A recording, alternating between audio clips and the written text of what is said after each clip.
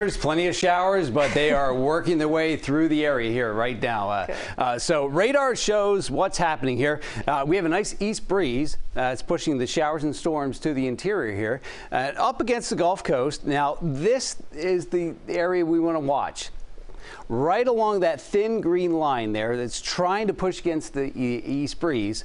Uh, we might see a few showers work their way back into the area here, but primarily they're staying over the interior here overnight tonight. Maybe a few showers could work their way through the area uh, tonight. Uh, typically, we see that with that east breeze. One or two showers there just off the coast might work their way in through the area tonight or tomorrow morning. Uh, that's the one area that we have to watch here this evening. Otherwise, pretty comfortable. Temperatures have dropped into the upper 80s here with a nice breeze out of the southeast. It's about 10, 15 miles an hour. Uh, we're seeing temperatures dropping from the 90s into the upper 80s here. Uh, Key West, Fort Lauderdale, and Miami, uh, thanks to that nice east breeze. Now, here's the similar situation tomorrow. Uh, we could see a few showers work their way through the area in the morning. Uh, we'll go from 2 o'clock to about 5, 6, 7 o'clock one or two spots could see a shower or two in the morning, uh, but then they work their way through and push to the interior here in the afternoon and evening here. That's by 2, 3 o'clock here. Uh, so uh, nice, comfortable afternoons and evenings here uh, with that nice east breeze continuing about 2, 3 uh, o'clock in the afternoon. Then everything fires up towards the interior and up towards the Gulf Coast by 7, 8 o'clock there tomorrow evening. With the east breeze, though, we do have a, an issue to watch, and that is on the uh, uh, the water or right at the beaches there.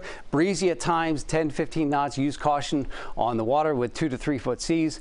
Gusty at times there with a few showers that work their way through the area. And watch for the red flags. We have a high rip current risk going at least through Monday with two foot seas there. Mainly morning showers working their way through the area by the afternoon looks pretty good. Today, not bad. Tomorrow, about 90 degrees. Uh, maybe a few passing showers working their way through the area. 89 degrees will be the temperature there tomorrow afternoon and evening. Now we have Bonnie, which has worked its way across Central America, and we also have to watch for Colin now, uh, developed along the Carolinas. That will continue to move to the northeast as a tropical storm, but nothing is an immediate threat to here to uh, South Florida here as it continues to move to the northeast. One other area to watch is moving across the Windward Islands. That has a low development potential there, so tropics looking pretty quiet. Here's the extended forecast here. We have 4th of July forecast 89 degrees, sunshine, maybe a few passing showers. then we start to see showers and storms working their way through the area. Starting Tuesday, continuing Wednesday with sun and storms, keeping temperatures about 90 degrees there Thursday, Friday, and Saturday into next weekend uh, with sunshine and storms. Uh, pretty typical South Florida weather here for the rest of the week. All right, Dave, thank you.